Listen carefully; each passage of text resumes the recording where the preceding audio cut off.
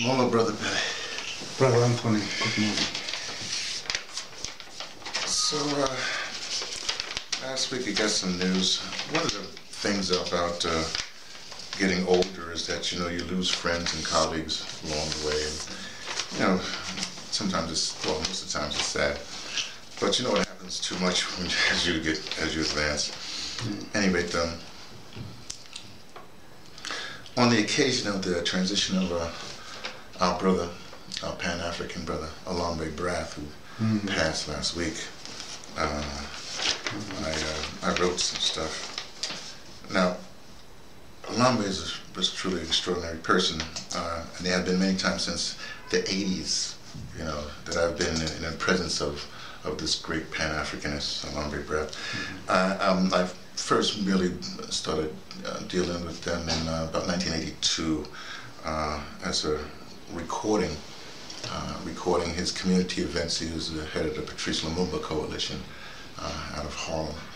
And, um, and uh, it was interesting because at that time, uh, we would record these uh, these forums and, and, you know try to disseminate it. This cassette days, mm-hmm. and uh, well, Elombe and Samori were two that would always give these uh, basically political forums, you know, consciousness raising forums for the community.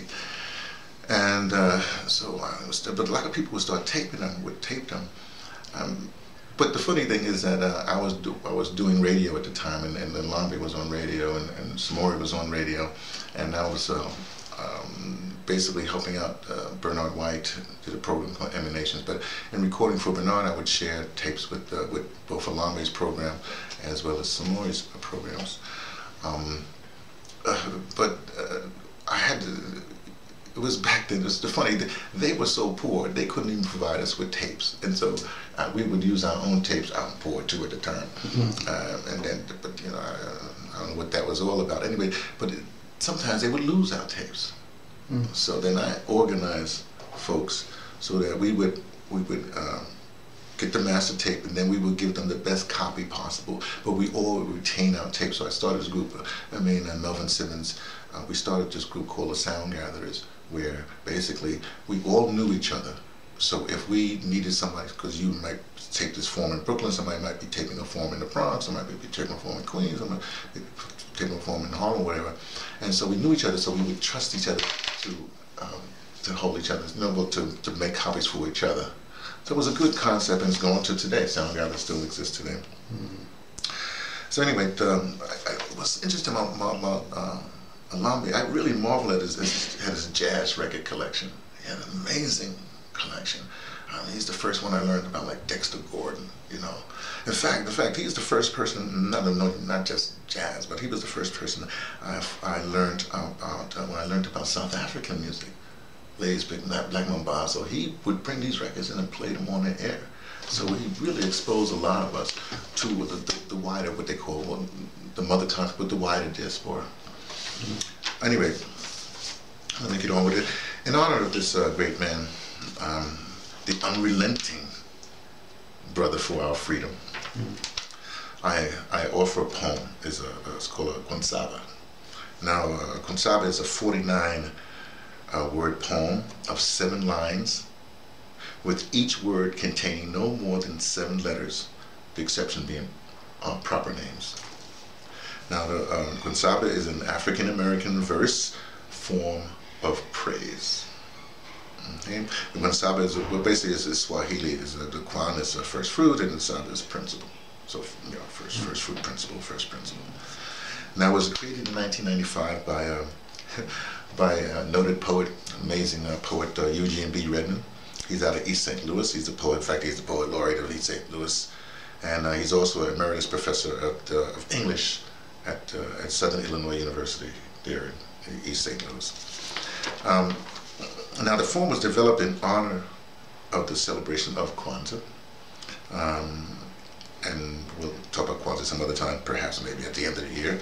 Um, now this poetic form adopts uh, the number seven from the the Kwanzaa's Nguzo Saba, the seven principles, and it also embraces the roots of Southern African of the Southern African tradition of the praise poem. Love praise poems when you start something, the guy goes, ah, no, no, no, no, no. I love that. Mm-hmm. anyway, so on, on occasion of a, a passing, here's a concert for Brother Lambe Brath. He uh, came to this planet, to this realm in 1936, and he uh, made his transition uh, last year. I mean, last, last week, I should say. And um, so this is the concert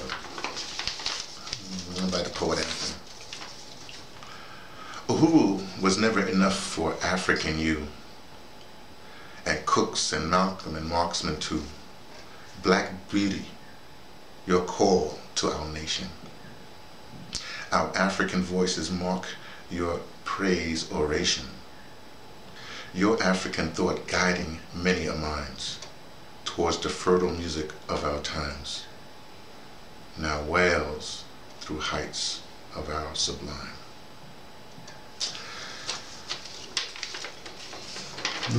Go in peace, Brother Lambe. Continue to uh, inspire us and watch over us.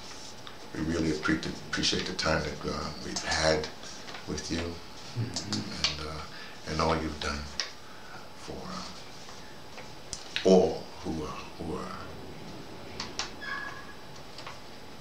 in sync with freedom and uh, prosperity for the masses. And, and I responded to that message by saying. You responded to the old I sent this. Yeah. Oh, okay, the Lambe message or the. Yeah. yeah. Okay. Mm -hmm. Yeah. That uh, Brother Anthony, sadly, you followed Brother Elombe. And after this beautiful oration in his honor, you would have followers. May you so get your message.